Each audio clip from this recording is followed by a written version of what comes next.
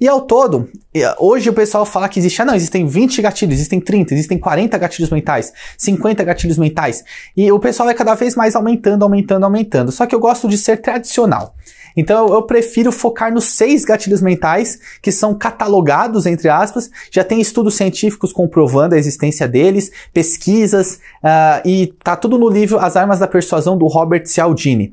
Esses seis gatilhos mentais é, são os mais poderosos que você tem que usar sempre que você quiser criar uma mensagem poderosa, tá? Não precisa usar todos ao mesmo tempo, você pode usar um, usar outro,